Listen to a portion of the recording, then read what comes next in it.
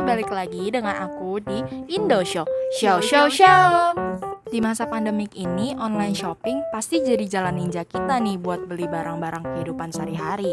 Kayak di Indonesia, di Taiwan kita juga punya beberapa online shopping platform. Contohnya kayak Shopee, Taobao, Shein, dan lain-lain. Nah, sekarang aku mau jelasin nih gimana cara pesan barang di Shopee Taiwan. Caranya mirip kok dengan yang ada di Indonesia.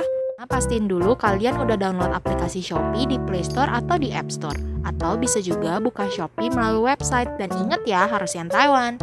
Terus kita tinggal sign up bisa pakai email atau Facebook atau nomor telepon. Tapi di sini aku pakai nomor telepon dan nanti bakal dikirim nomor verificationnya lewat SMS. Terus tinggal dimasukin aja deh. Berhubung aku udah pernah buat, jadi langsung bisa ke login. Tapi bagi kamu yang belum pernah buat, cara buatnya gampang kok. Kalau melalui email, tinggal masukin email kalian, username, dan password. Kalau kalian melalui Facebook, tinggal connect account Facebook kalian ke Shopee.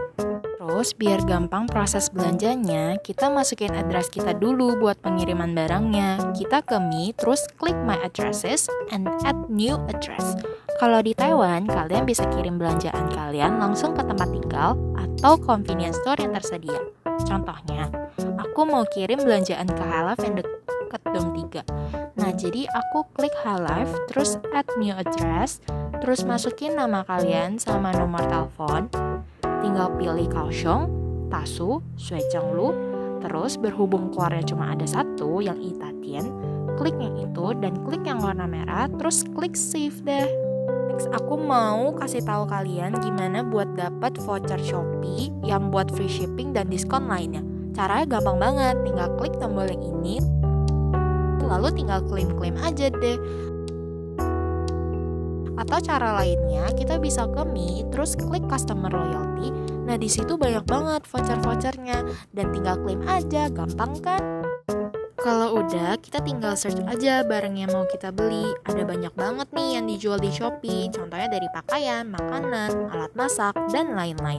Nah, di sini aku bakal contohin, aku bakalan beli Samyang, jadi tinggal add to chart aja. Terus biasanya aku bakal cek chartnya dulu buat mastiin barang yang aku mau beli itu udah bener atau belum.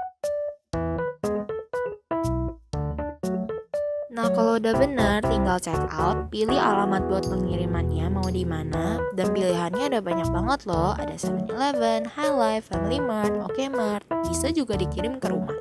Kalau mau dikirim ke rumah, tinggal klik yang paling bawah ya. Dan kalau mau dikirim ke convenience store, kita harus cari alamat convenience store terdekat kita. Tapi berhubung aku udah add addressnya, jadi tinggal klik doang. Dan karena aku mau bayar melalui COD, jadi aku pilih kirim ke convenience store. Karena kalau di Taiwan kirim ke rumah itu nggak bisa melalui COD. Jangan lupa masukin voucher yang tadi kita udah klaim biar bisa gratis ongkir dan dapat diskon gitu deh. Terus pilih cara pembayarannya.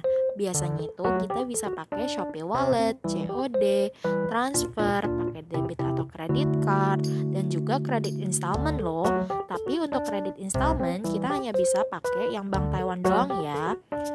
Kalau udah, kita pencet yang check out, terus bakalan ada keterangan kalau ordernya successful dan kita juga bisa lihat order detailnya. Nah guys, kan tadi aku udah jelasin nih tentang gimana sih cara ngepesan online kan. Kalau misalnya udah dikasih tahu udah sampai, kita langsung ambil di convenience store yang kita pesan. Tapi pertama kali kita tuh harus nge-scan dulu yang kayak giniannya. Kalau misalnya kita nggak bawa HP kita, kita juga bisa tulis kayak di sana tuh bisa tulis nama kita, tanggal kapan kita datangnya, jam berapa, sama ada berapa orang yang pergi bareng sama kita. Selain itu, kita juga tinggal bilang ke orangnya di dalam kita mau ambil barang. Nah, kasih tahu tiga digit nomor terakhir dari uh, nomor telepon yang kita pakai untuk mesen tinggal tunggu untuk di, uh, masnya ambilin, and then kita tinggal bayar kalau misalnya COD atau kalau kita udah bayar sebelumnya, kita tinggal ngambil aja deh. Jadi, guys. Tinggal tunggu deh guys, ngambil lagi diambilin sama masnya.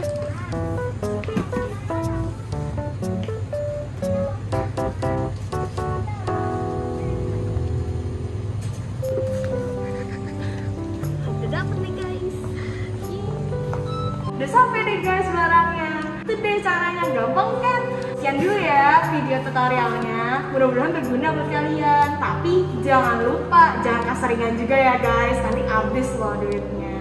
Bye bye.